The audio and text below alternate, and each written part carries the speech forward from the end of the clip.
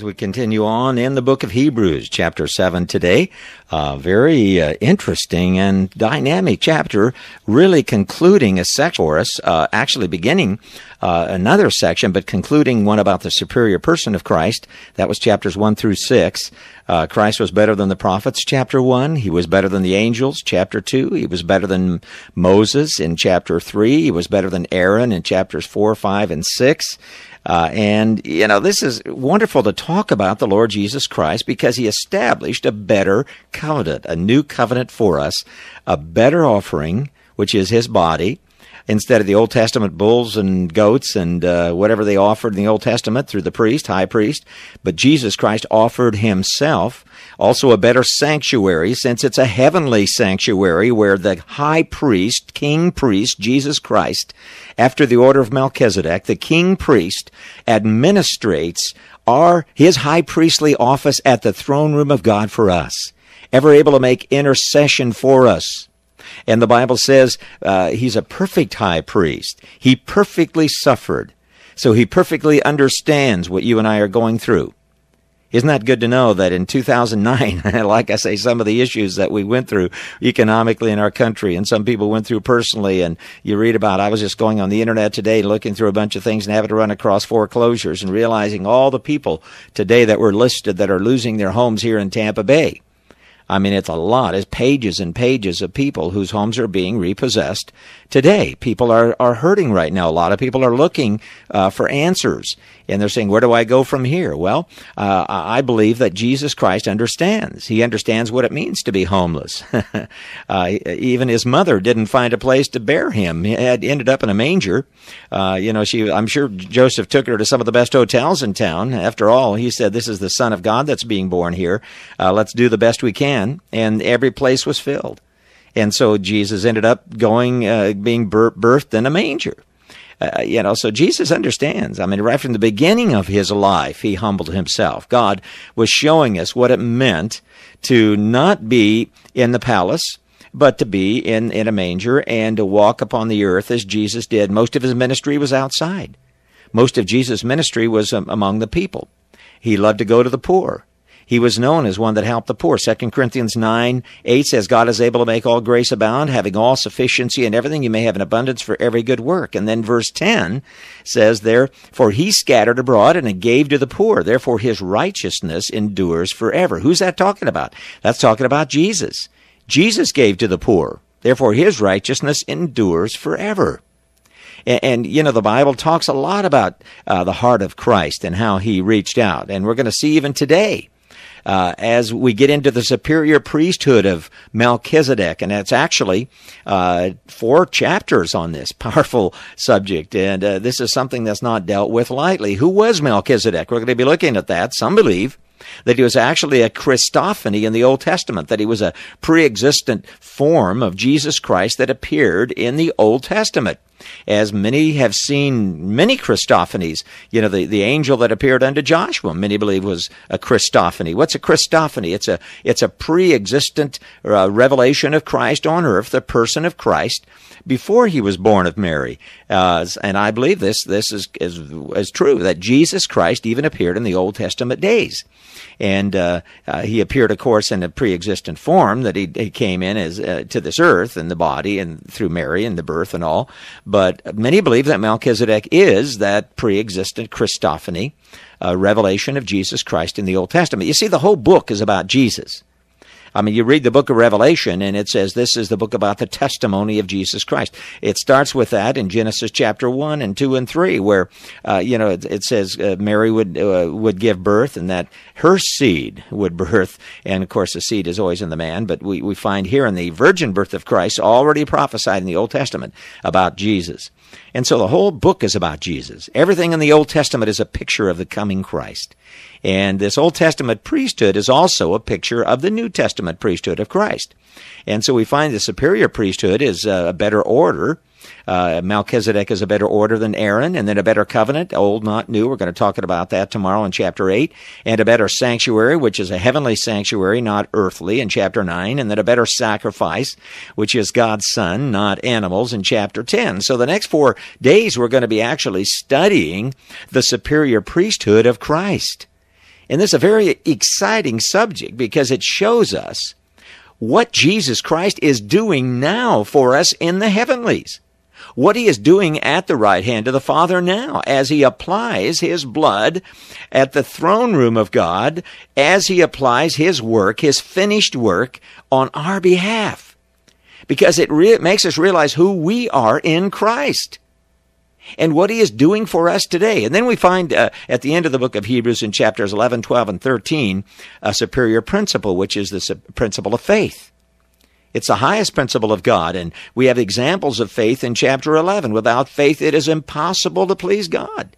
For he that cometh to God must believe that he is, and that he's a rewarder of them that diligently seek him. And then the endurance of faith in chapter 12, we're going to be seeing uh, that we're surrounded with a great cloud of witnesses. And then finally, the evidences of faith in chapter 13.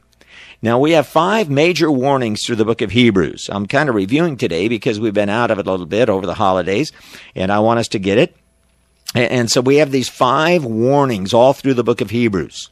And they all have to do with the Word of God.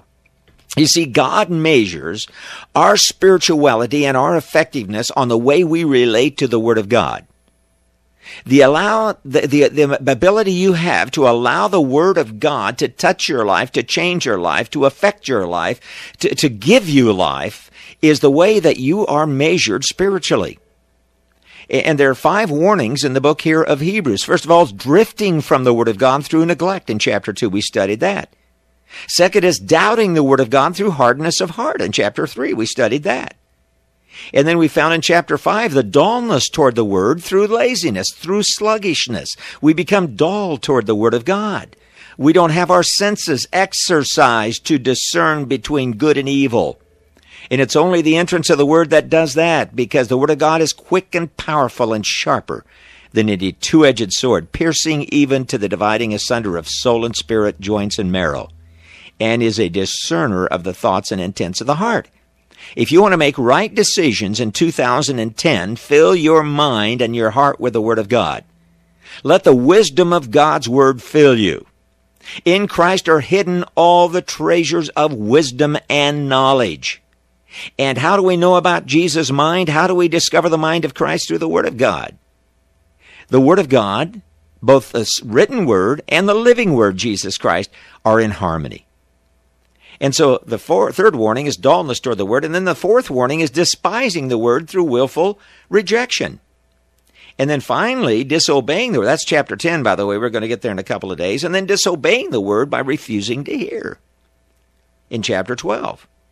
And these are warnings that God gives us. I know that I love to preach positively all the time, but God gives us these warnings in Scripture. What is your relationship to the Word of God today?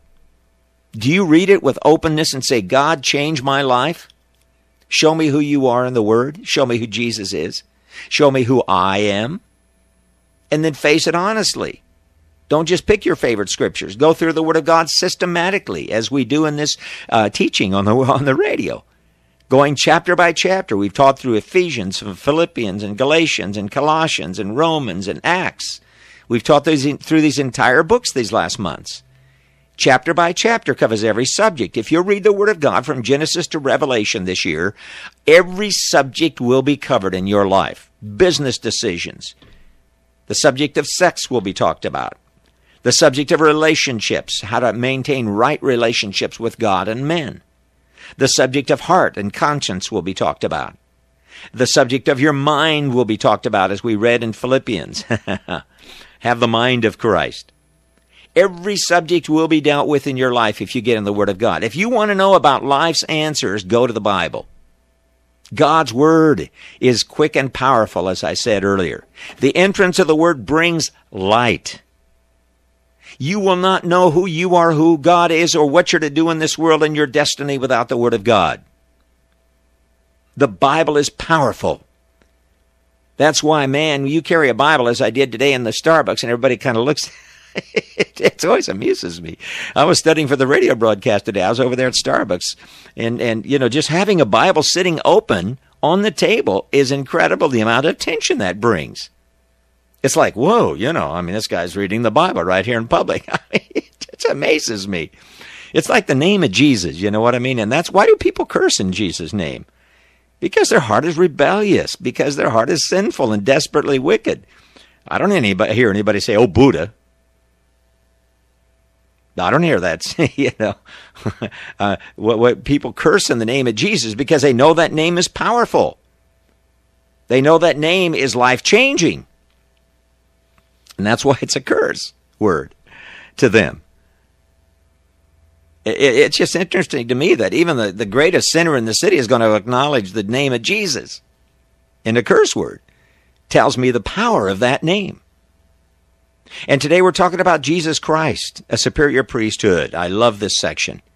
It's, it's referring to Christ and Melchizedek. And first of all, see, the writer of Hebrews, which I believe is, is Paul, is giving uh, three arguments here in chapter 7. Let's look at those quickly. Number one, he's given a histor- an historical argument about Melchizedek and Abraham. You see, first he identifies uh, Melchizedek as a type of Christ. And we're going to be reading out of Hebrews here, showing you, uh, you know, exactly what, what's, what, what Paul said here. Let's read it, okay? Chapter 7.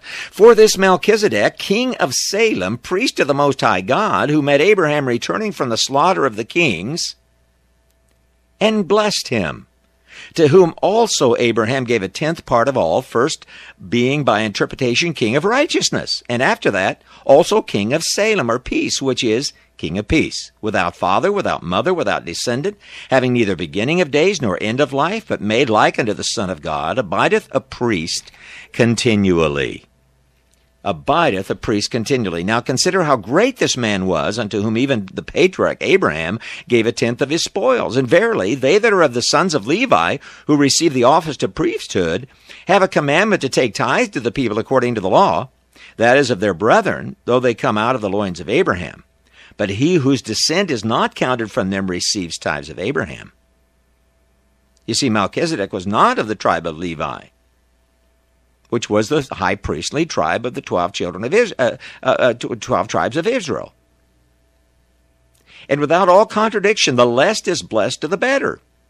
And here men that die receive tithes, but he, uh, but there he received them, of whom it is written that he lives. And as I might say, Levi also, who received tithes, paid tithes to Abraham. For he was yet in the loins of his father when Melchizedek met him. In other words, the coming 12 tribes of Israel were in the loins of Abraham, and even in the loins of Abraham, that priestly order, that earthly priestly order of Levi, was paying tithes to Melchizedek. So there's here's an historical uh, argument. Here he is called the King of Peace, or literally Prince of Peace. The name Melchizedek is two from two Hebrew words, really. Melchi, Melchi and Sedek, which literally means king and righteousness, which certainly applies to Christ. You see, Christ is God's righteous king. He fulfilled all righteousness. He came and lived on this earth a perfect life, unlike the children of Levi. They were not perfect, as we're going to see later some of the some of the priestly people, uh, actually priestly uh, uh, children, sinned, as we're going to see in a few moments, but not Christ. Christ was the perfect order of the priesthood, and his priesthood is eternal, has no beginning or end. It didn't depend on any natural descent. There is no lineage mentioned about Melchizedek.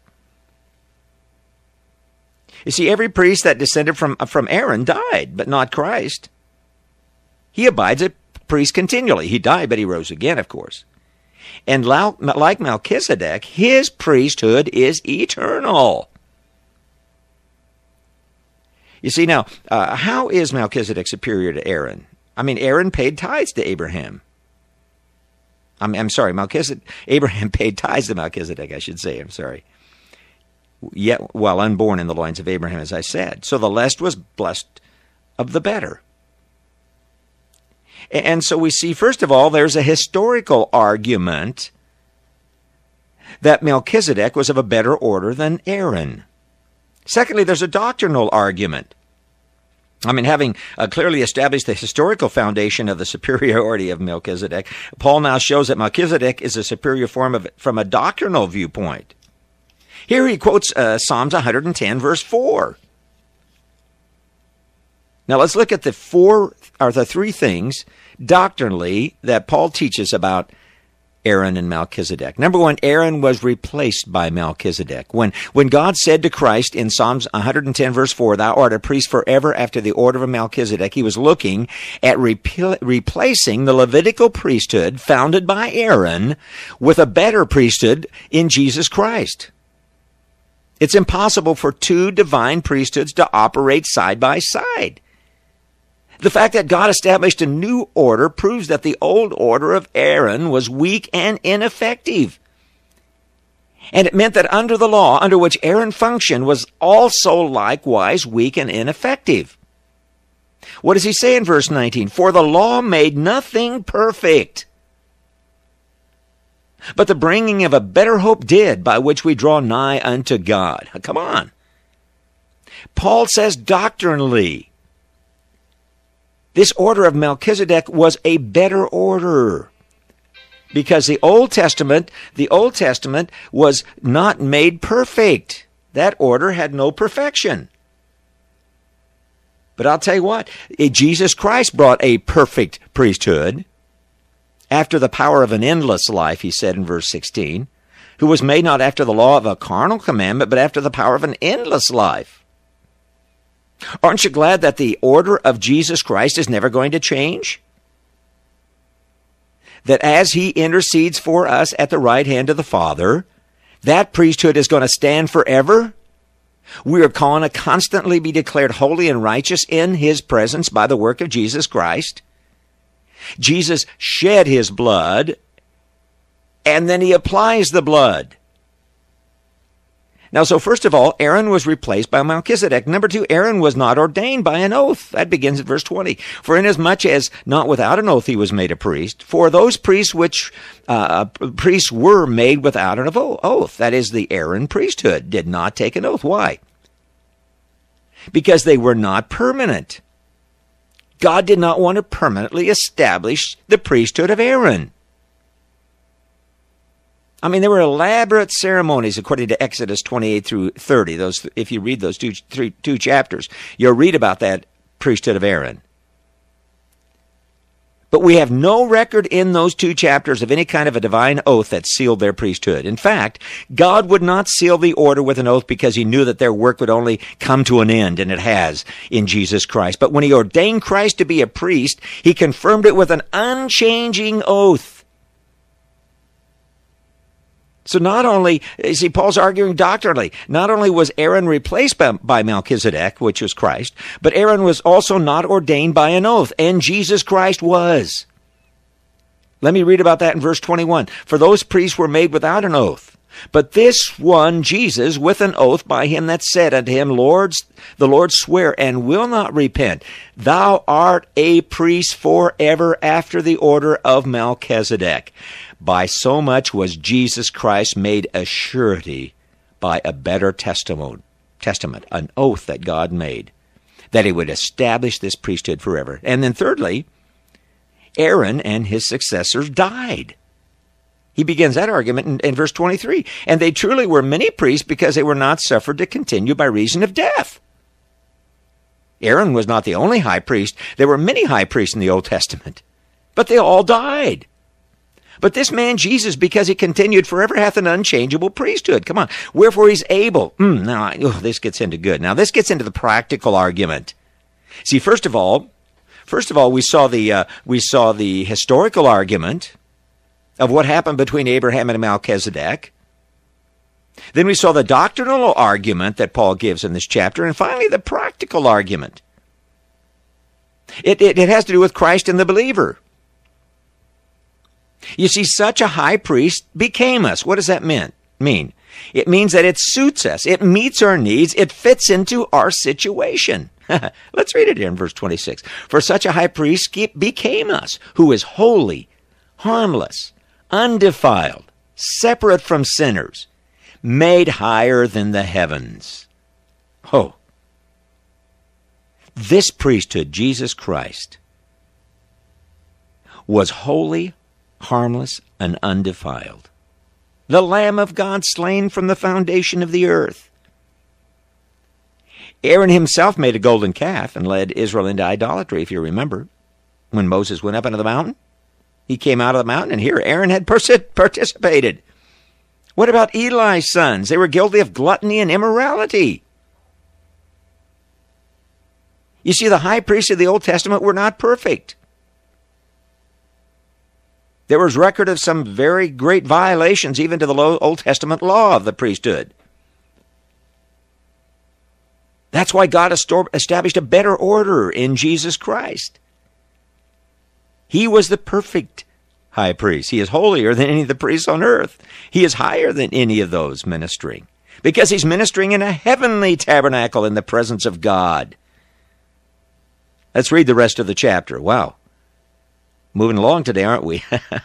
For such a high priest became us, who is holy, harmless, undefiled, separate from sinners, made higher than the heavens, who needeth not daily, as those high priests, to offer up sacrifices for his self, himself, his own sins. For then for the people, for this he did once, when he offered up himself. So Jesus Christ offered himself up as one sacrifice for sins forever. We're going to find about that in, in Hebrews chapter 10. But the Old Testament priesthood had to offer sins daily for their own, I mean, offer sacrifices for their own sins daily. Christ is sinless. He needs no sacrifice to atone for his sins.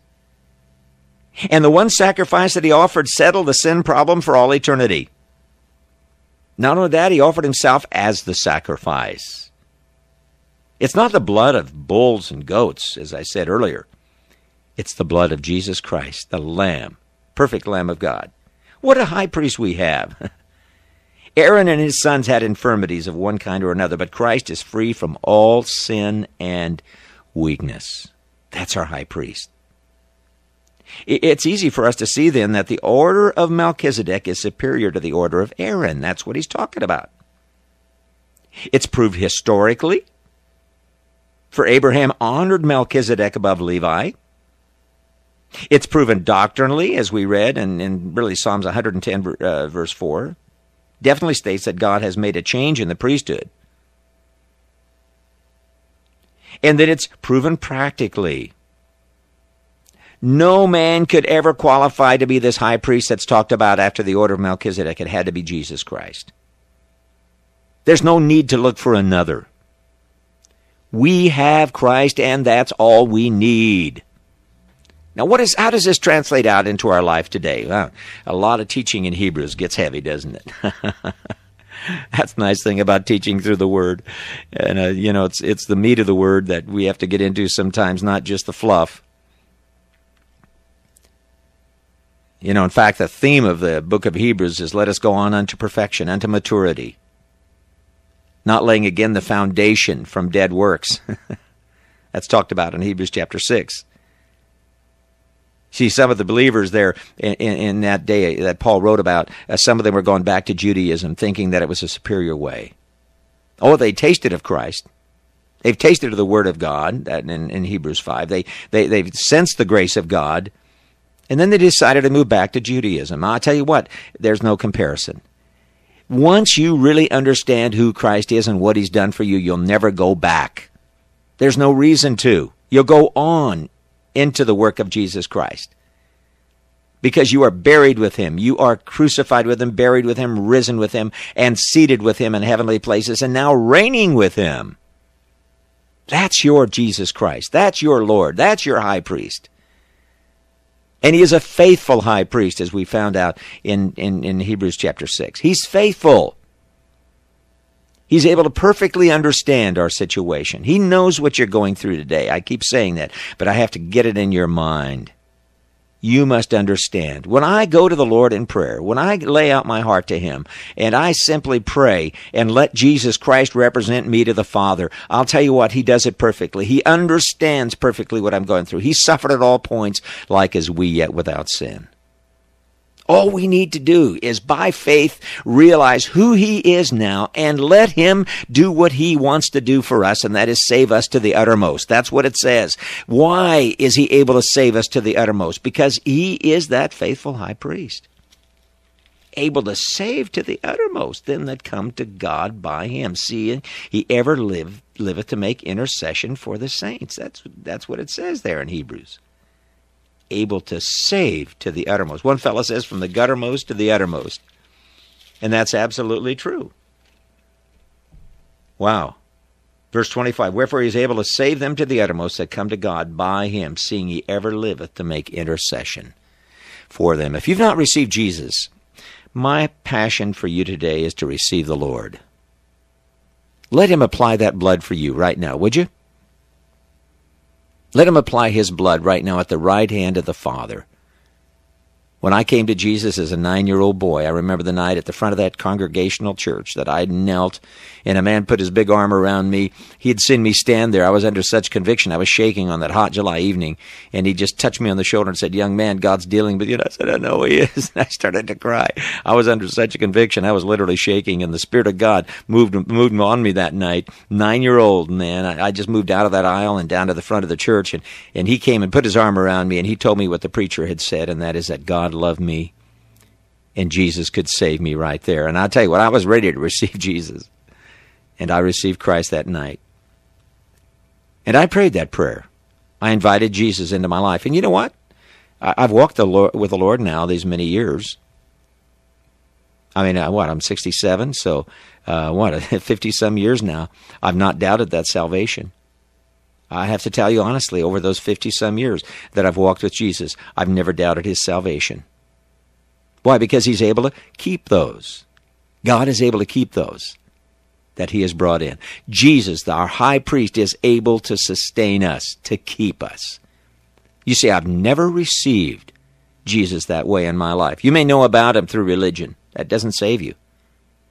You might see the kingdom of God at a distance, but you need to enter it through the work of Jesus Christ.